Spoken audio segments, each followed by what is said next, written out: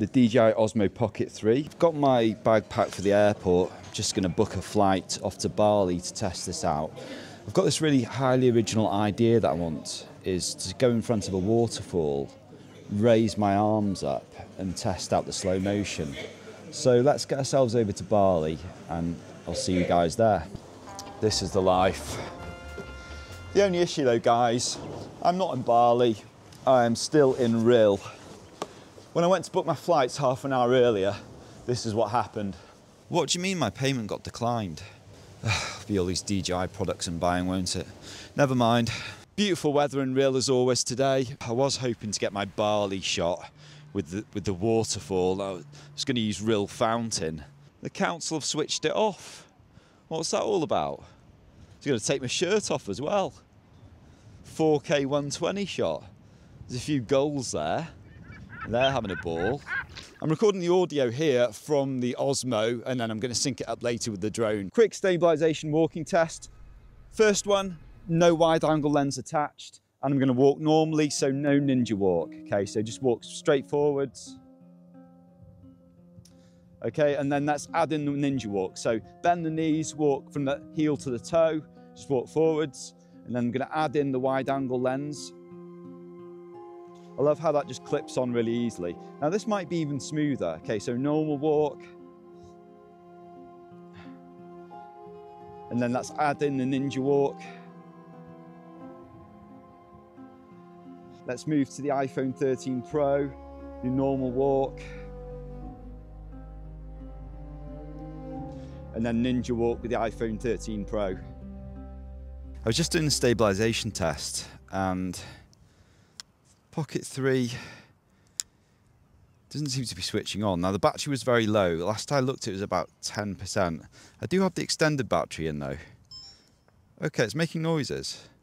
But the screen but there's a there's a light there on the screen and the screen is if you can see but there's a doesn't look healthy. I'll show you on the B-roll. It does not look healthy. This is a worry. 10% charging, okay. Okay, let's, okay, okay, it's, it's sprung to life there. But that was a bit weird. That was a bit weird. It was, Anyway, it seems to be fine now, and the battery was very low, so whether that was the issue, just shot my first time lapse on the Pocket 3. Quite impressive, I'll have to see it on the bigger screen, obviously. I do think in my own work, I need to incorporate more hyperlapses and time lapses. So the simplicity of this, you know, let's say you're out somewhere, you just want to have a little coffee, a beer, just set this running, having a time lapse. Just been testing out the Vortex, the spin shots on the Pocket 3. This is what tempted me to buy this camera in the first place when I saw Brandon Li's review and it just looked incredible. Motion lapses, I'm thinking maybe I'll get a motion lapse at this bridge. Time is getting on, I'm getting cold and hungry.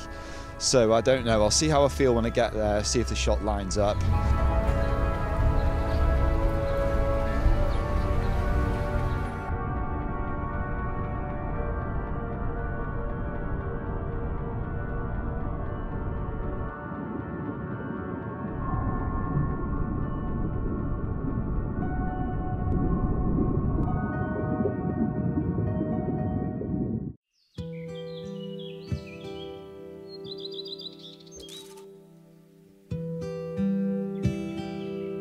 The little bag from DJI for the Pocket 3 Osmo.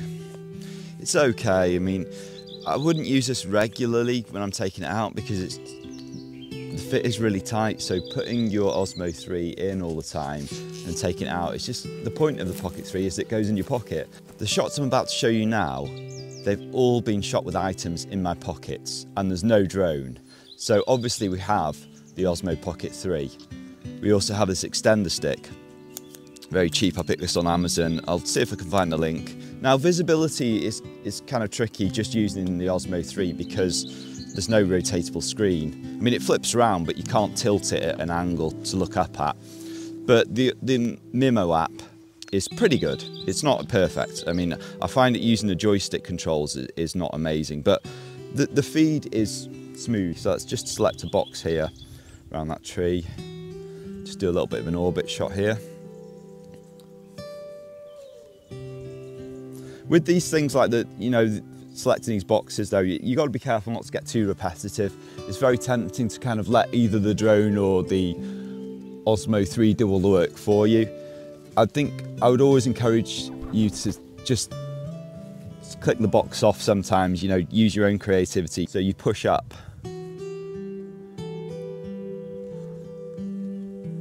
It would be easier to be a bit smoother with a drone to get these shots, but still nice, isn't it, when you slow it down afterwards. Let's try some low shots. Oh, this is good, isn't it? Saves you back, this does. By the way, when you're trying to track your dog, I found that it's it does lose the the subject. It's not as good as it, let's say you, you select a spot on the tree or something. It's a shame that you know the 4K 120 is very good actually. I'll show you some sample shots we've used with that.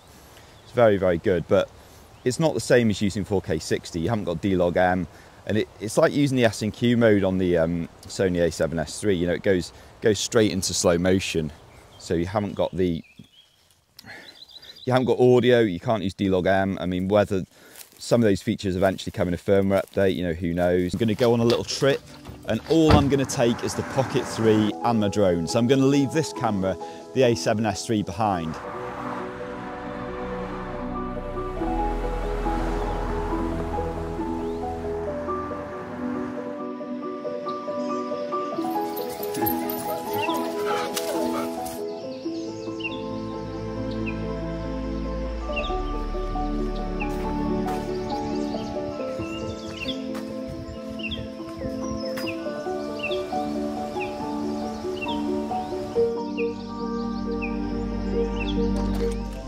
Coffee shop test going on and it's tracking me, you see as I'm moving along the it's tracking me. I'm not used to looking into that little lens. It's going to take a bit of an adjustment. By the way, minus two sharpness, minus one noise reduction. Go to settings, custom, and then you can change them there. Just takes away that overly digital look.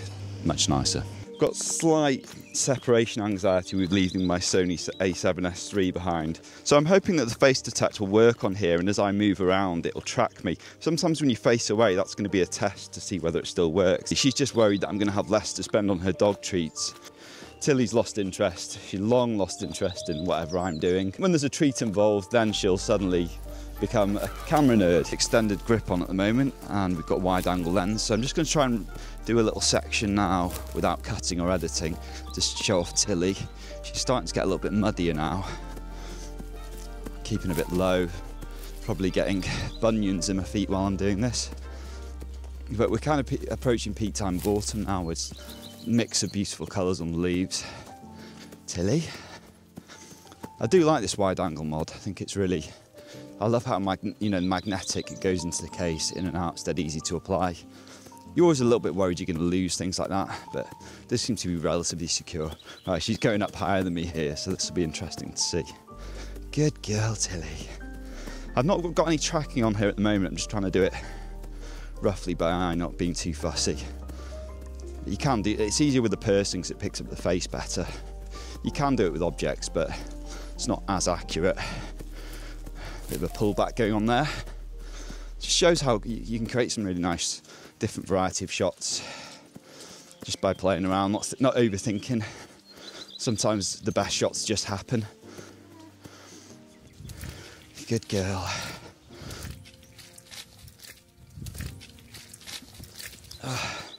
I'm amazed I haven't ended up in a puddle filming this today. There's been there've been a couple of moments where I've been pretty close to doing that, but so far, I mean, my feet are completely drenched in mud, but so far my trousers are okay-ish. Tilly is having a wonderful walk.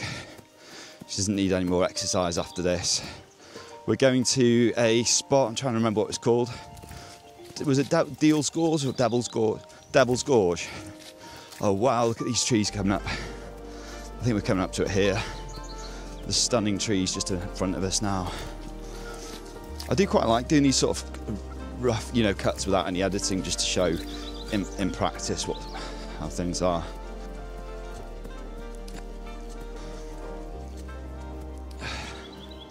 Oh wow, look at this. Look at this. Just arriving. Incredible. Is this the main spot or does it go further on? This is the main one, is it? We get the drone out here.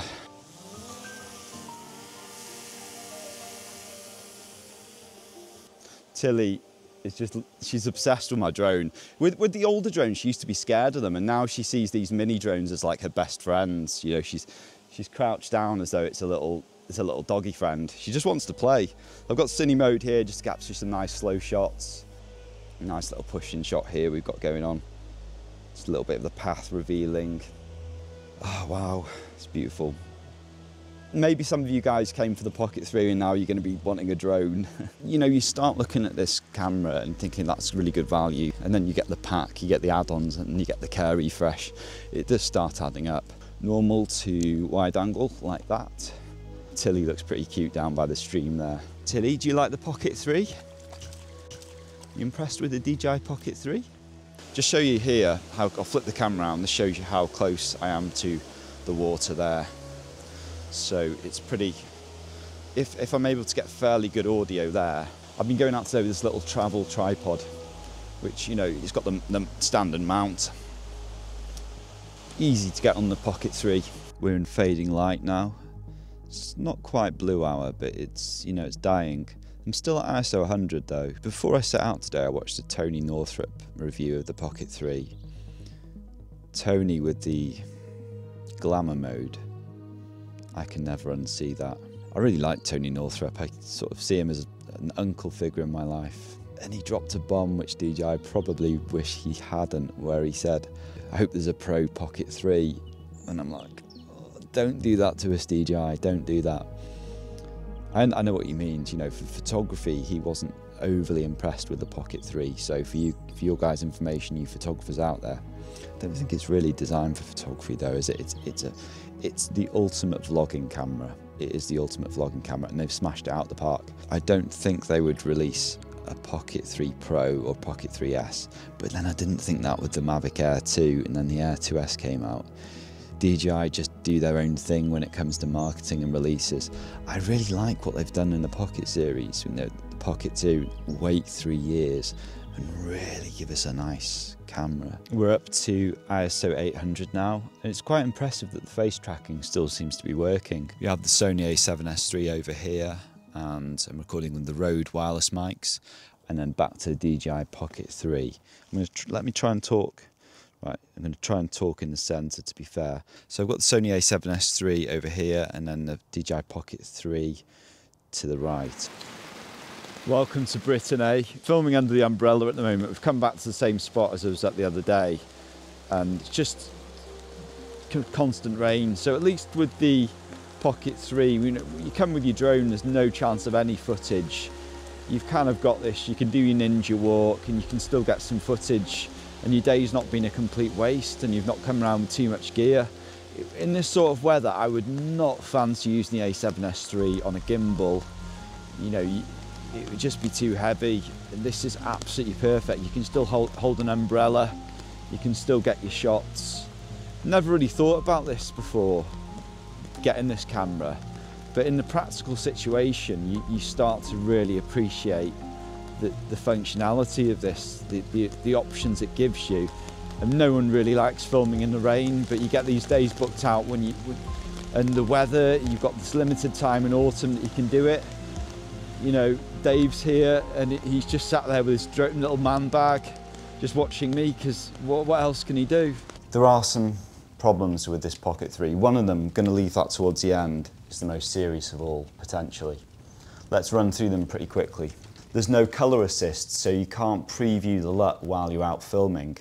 This is quite annoying. It's not a deal breaker, but Maybe this comes in a firmware update, we'll just have to wait and see. No interchangeable battery, there is the extendable grip, but I would have liked that. Let's say the battery dies in a few years time. Is this still gonna work? The SD card slot is really bad. You know, fair enough with the mini drones, I can understand that because they're fighting for every gram. But this feels like a really new technology piece of gear, apart from the SD card slot, which just seems ancient. You know, I'd have liked a little flap, a bit like on the Air 2S, which is really easy to get your SD card in and out. The tracking isn't always a particularly smooth motion. In fact, sometimes I think I might switch off the tracking. You know, it's really handy to have, I like it, but sometimes it can be a little bit, moving a little bit too much, just not smooth enough. I've noticed with the wide angle lens, there is a little bit of distortion. It's not too bad. Most shots you're not going to notice it, but on the shot where I took the drone off, it's quite noticeable the curvature there and also on some of the shots of the trees there is some distortion with this this could be fixed in post but then you're often cropping in to do that my next issue is the cost of this gets quite expensive I think the value of the Pocket 3 will hold up pretty well but will the extras hold up these tend to be the things that devalue the quickest so if you do want the combo pack I think there's an argument for just holding on you know just seeing if you get a little deal down the line Honestly, if I had a YouTube channel, I probably wouldn't have rushed out to get this, especially the whole pack. I really want it. I really like trying out the mic and these things, but if you don't want the mic, the battery's pretty good on this anyway. You don't necessarily need the wide angle mod, and you can always buy that separately. If you want to just pick up the Pocket 3, go for it. I mentioned before, you can't tilt this screen if you want to point your shots looking up. This is a bit of a surprise, you know. Canon 70D, you had the rotatable screen. This isn't really old camera we're talking about. This is this new high-tech camera. I'm quite surprised that it doesn't do that. Whether it's for durability reasons, I'm not sure, but I mean, the app is pretty good, the Mimo app, so for visibility, you can get that out. Now, another problem, I didn't think of this in my list, but it's just come to mind now. I don't think the screen is as brilliant as people are making out. Yes, there's the innovation that you can rotate it, that is very clever, but it's, I found it a bit weird to use. I'm getting used to it now. There was an issue with the joystick that really confused me. I'll show you on, on the B-roll to figure that issue out. This is still a tiny screen and to judge your shots it's not brilliant. I think I will use the Mimo app quite a lot. The final problem with this, and this is, this is really bad, this is really bad. This rotating screen on Reddit, there's not so much talk on YouTube of this, but there is talk on Reddit of a few people, and I've seen a few shorts. There's a spring that's broken on this, and they've only owned the Pocket 3 for a few days. Now, it's very unfortunate for those people, and I'm hoping that they just, it was maybe like a faulty batch, and this is a very small sample size. But I think you guys should be aware of this, and I think you should look into this. Have a look at Reddit. Maybe we have this Pocket 3, and mine seems to be fine. You know, I've filmed with this over a week now, been using it a lot, rotating it on and off a lot. Is this same spring problem going to happen to me in a year, two years down the line? This new feature is a new thing. Now, DJI are very good at gimbals. They've got a lot of experience. So I've got a lot of confidence in the gimbal being strong and good. This rotating screen is new. Now I'm sure DJI will have stress tested it and I do have confidence in DJI like if there's any problems. I did get Care Refresh and I would probably recommend that because the fact you're putting this in your pocket in and out and all these times, there's a chance you drop it one day, something happens. They will honour your Care Refresh. You know, I've had to use them with drones before and they're pretty good. But I do worry about this, the, the long run of just keep turning it on, keep turning off. The spring goes on this. This rotating screen, I've decided that I'm going to do it quite gently whenever I switch it on. Maybe that's the, when people have bought it and have had faults, maybe they've just done this. You hear the clicking there. I'm a bit nervous doing it here, the click. I mean, that should work fine, but if people are having faults with it, I'm, I'm just going to be just a bit slightly, you give it like a bit of a softer touch. So hopefully that might help you guys with the durability of this back in the Christmas jumper because I want to end on a positive note. And what I will say is a couple of weeks that I've been using this, it's one of the most enjoyable cameras I've used. It's, yeah, it doesn't give you the same adrenaline rush as going out with your drone does, but it just, just makes you feel really happy makes you really excited to go back and look at your footage because you're filming in environments that you wouldn't normally be filming in. And that probably frees you up a little bit. It frees you up creatively, you know, the way you talk, the way you move around, the way you can capture candid moments. This camera's really amazing. It really is. And you know, just little issues I had, things like the colour assist. You know, in, in the grand scheme of things, when you think about the benefits that this brings, It's really not a big deal. And some of these issues may well be fixed in firmware updates, we don't know. The thing about the rotating screen, DJI are a huge company, you know, they will have stress tested this. It's just a little bit of a thing to think about. And I do think for some people, if you want to get the whole creator bundle and maybe some other things might be thrown in in a bundles online, you know, you probably save a bit of money if you're just a little bit patient and wait a little bit longer. But if you need this, if you've got some work coming up soon, then go and grab it. You will not be disappointed, apart from the unlucky few that get faulty models. Happy Christmas, everyone. These screen protectors have just arrived, so you've got a glass screen protector, both for the front camera and also for the back screen. I think particularly when you've got your extended pole out, you do want some protection there.